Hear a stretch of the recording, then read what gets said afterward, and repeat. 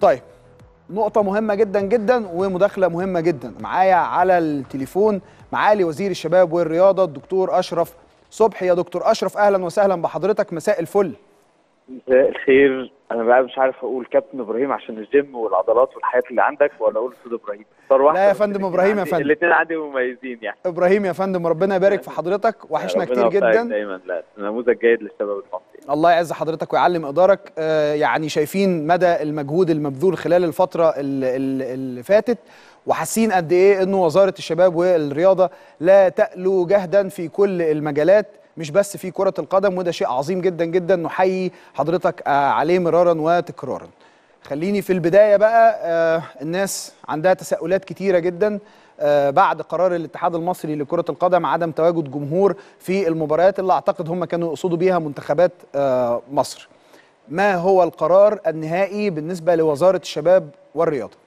لا إحنا يعني آه، يمكن بعتنا وبعتنا اللجنة الأولمبية المصرية والاتحادات الرياضية كلها. اتحاد الكورة شأنه زي كل ال- آه، إحنا طبعا آه، يعني مع مع آه، قرار مجلس الوزراء اللي كلنا عارفينه. آه، إن التجمعات والحاجات المرتبطة بالاحتفالات والجماهير.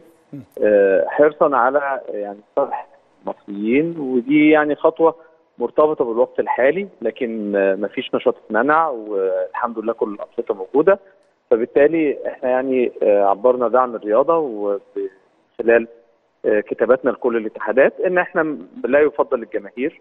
آه، والتجمعات طبقا لهذا القرار وده حرصا طبعا على على كل الناس.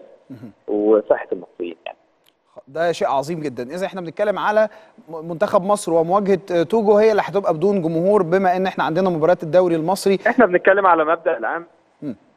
نقطة معينة بنتكلم على المبدأ العام النشاط الرياضي زي ما هو مفيش حاجة تم إغلاقها لكن آه، في الحقيقة حريصين على آه، تطبيق آه، يعني آه، قرارات رئاسه مجلس الوزراء.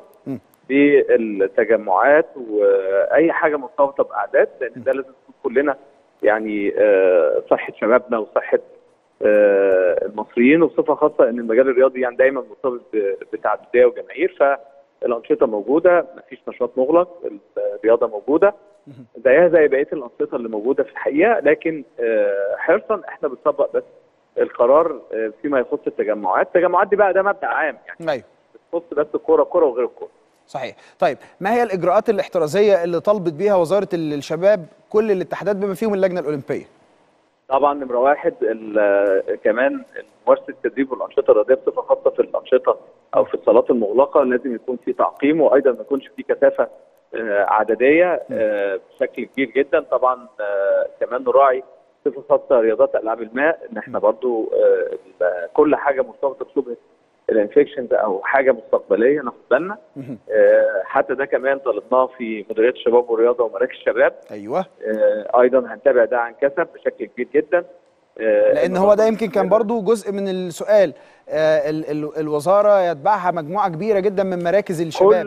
الرقابة بتاعتها تبقى عاملة إزاي؟ صحيح اتفضل يا فندم. كل آه طبعا. كل منشآتنا إحنا مش بس مراكز الشباب إحنا عندنا آه، مراكز تعليم مدني اللي هي آه، بيكون فيها إقامة بيكون فيها آه، في الحقيقة مراكز آه، للتدريب والتعليم.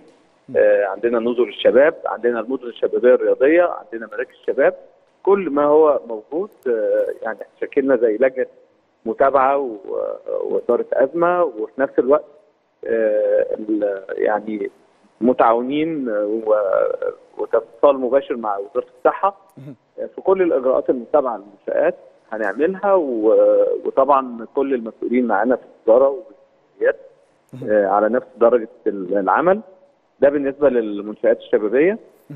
وبالنسبه للرياضة آه، طبعا في حوارات على طول آه، وتبادل مع المهندس هشام حطب المسؤول طبعا كرئيس اللجنه الاولمبيه المصرية. بتعميم مع الاتحادات وبعتنا الاتحادات أيضا بنفس المنهج لكن أكرر النشاط الرياضي آه، موجود ما لم لا يلغى إحنا شغالين.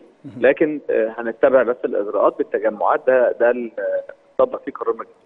بما فيهم الدوري المصري ساري ولا كل يوجد التجمعات. كل كل التجمعات. التجمعات. الدوري المصري ساري ما. فيهوش أي لا مشكلة. لا استثناء لا استثناء. كل التجمعات كله رانينج كله بيمشي كله النشاط شغال لكن ال- التعددية والجماهير وده ده إحنا لازم نكون يعني عندنا يعني آه، آه، خطوات احترازية واستباقية. صحيح. طيب دكتور زلي بقى تابعنا مجهودات حضرتك فيما يتعلق باستاد القاهرة وفتح الاستاد لإقامة أو لاستقبال مباريات الأهلي والزمالك في دوري أبطال إفريقيا. ما هو الموقف النهائي حتى الآن؟ حضرتك حط لا الموقف النهائي إن شاء الله. لا لا الموقف النهائي إحنا أول أسبوع من خمسة إحنا تناقشنا مع الهيئة العربية للتصنيع. الجهة الملتزمة قدامنا ومن خلالها الشركة الإنجليزية أو المسؤولين في الحقيقة النبتة الصيفية أو البذره الصيفية آه، ده يعني إحنا هنمشي شوية بدل شهر أربعة هنخليها الأول بعد أول أسبوع من خمسة تقريبا 10 5 وتناقشنا اليوم في الحقيقة هيستمر لغاية 20 6 لضمان لأن دي نوعية جديدة في مصر الهجين أو الهايبر. آه، فطبعا آه، هنلتزم بده لكن أخرنا شوية عشان نحافظ على الشكل العام والاداء ودايما كده نشوف استاد القاهرة حاجة يعني محترمة. لكن طبعا عندنا لازم كان نفكر لأن مباريات يعني فرقنا مع افريقيا أو خارج نطاق الوطن زيها بالظبط زي المنتخبات يعني إحنا ورا أنديتنا زي المنتخب لأن إحنا دايما اسم مصر لازم يبقى يعني على طول خفاق من خلال يعني أنديتنا ومن خلال ألعابنا ورياضينا. حتى في الألعاب الفردية فطبعا كان لازم نعمل ده ونكثف الحوار ونتدخل والحمد لله إن شاء الله يبقى يعني الاستاد كاستاد إن شاء الله بعد أو لغاية 10 5 إحنا يعني موجودين ويبقى قابل للاستضافة. ده خبر عظيم جدا جدا إذا استاد القاهرة بمشيئة الرحمن شاء الله. يستقبل لقاءات الأهلي والزمالك في دوري أبطال إفريقيا. ده خبر عظيم جدا جدا يا فندم. طيب في جزئية مهمة كنا بنتكلم فيها مع كابتن شوقي غريب المدير الفني لمنتخبنا الأولمبي أن هناك طلبات من منتخب البرازيل ومنتخب الأرجنتين لمواجهة منتخبنا الوطني. وتحديدا ذكر أن البرازيل تريد أن تلاقي منتخب مصر حتى ولو في مصر. هل في مانع من هذا الأمر؟ هل تتحمس وزارة الشباب والرياضة لمثل هكذا عرض أم لا؟ بص إحنا النهارده كان في لقاء في الحقيقة كنا بنستقبل كتير عامل الاتحاد الافريقي الجديد وجديد آه وبنقول له يعني إحنا يعني كل الدعم للاتحاد الأفريقي خاصه بعد انتهاء اتفاقيه المقر اللي ماشية في إجراءاتها النهائية. صحيح. وتوقيع عليها. آه ومصر يعني آه كل الدعم والمساندة وللقرى الأفريقية. وطبعا كان مزيد هناك مزيد الشكر والتقدير على دور مصر الأفريقي والارتياح كبير جدا في الحقيقة افريقيا على ما تم إنجازه لإبراز دور الاتحاد الأفريقي فده كان ثناء يعني كان موجود النهارده في الحقيقة المجموعة اللي قابلناها. عظيم. وكان بصحبه الاجتماع الأستاذ عمرو الجنايني طبعا رئيس اللجنة الخماسية رئيس الاتحاد المصري. وفي الحقيقة يعني تبادلنا الحوار في الانتخابات وازاي إن إحنا نوفر الملائمة المنتخب الكبير وأيضا منتخب الكابتن شوقي غريب 23 سنة.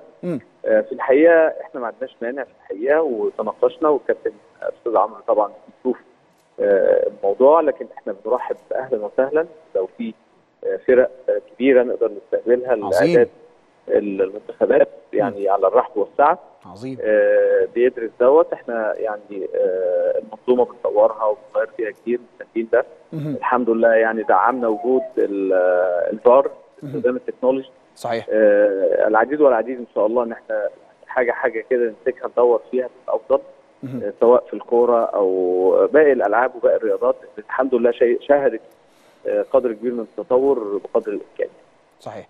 إذا إن شاء الله بإذن الله ليس لدينا ما يمنع بل أن وزارة الشباب والرياضة ترحب جدا باستخدام أي منتخب يريد أن يلاقي منتخباتنا الأولمبية على رأسها منتخب البرازيل. طيب معلش حضرتك ذكرت أمر مهم جدا وهو استقبال سكرتير الاتحاد الإفريقي لكرة القدم اليوم وتواجد حضرتك في هذا اللقاء.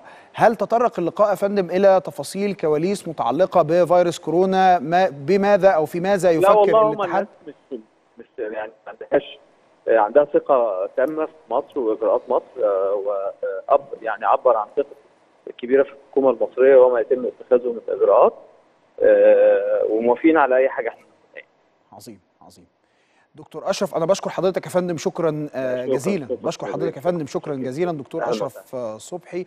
وزير الشباب والرياضة وتفاصيل مهمة جدا جدا. إذا هذا الملف بكل تفاصيله وضعناه أمام حضراتكم وبشكر كل السادة المسؤولين اللي كانوا موجودين معانا في مداخلات توضح للرأي العام الكروي والرياضي في مصر الخريطة عاملة إزاي. ده دور المسؤول وده الدور الطبيعي اللي المفروض أنت حضرتك تبقى قاعد في البيت عارف المعلومات ديت. طبعا بشكر بشكر جدا الدكتور أشرف صبحي ورئيس اللجنة الأولمبية المصرية المهندس هشام حطب والحقيقة كمان إنه الأدوار كلها اللي إحنا بنتكلم فيها ديت هي أدوار حقيقية ومهمة جدا جدا إنه ناس تعرف إنه هذه البلد تتحرك بكامل مسؤوليها هذه البلد تتحرك بكامل مسؤوليها ولا تألو جهدا في أي شيء. أما ما يتعلق بكرة القدم فهو ده الجزء الأصيل اللي إحنا بنتكلم فيه. إحنا في النهاية برنامج رياضي تسألوني أنا بتكلم في الكورة وبتكلم في الرياضة فقط وفقط لا غير.